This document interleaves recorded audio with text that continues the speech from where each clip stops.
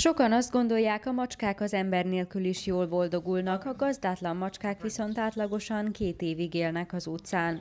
A kóbor állatok állandó veszélyben vannak. Sok macskát elgázolnak, vagy megmérgeznek az emberek, vagy a kutyák ölik meg őket. Vannak olyan emberek, akik szándékosan rájuk engedik a kutyákat, hogy ezen szórakozzanak. A Félix menhely nem ideiglenes jellegű, itt az állatok életük végéig biztonságban vannak. A legidősebb lakó 22 éves.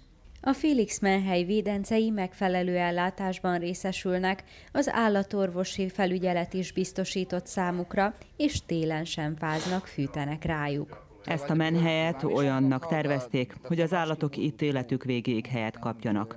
Folyamatosan jöttek újabb macskák, kibővült a menhely, amelyet 2011-ben jegyeztek be hivatalosan.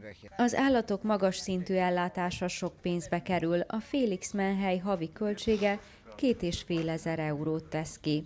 Jasna Lázics azt mondja, a támogatások jelentős része külföldről érkezik. Ami a polgártársainkat illeti, tőlük nem kapunk semmit. Szinte minden külföldről jön. Ha valaki támogatni szeretné az öt éve tevékenykedő Félix menhelyet, bármikor ellátogathat a Szabadkához közeli Békovai menhelyre. Bővebb tájékoztatást a Félix honlapján kaphatnak az érdeklődők.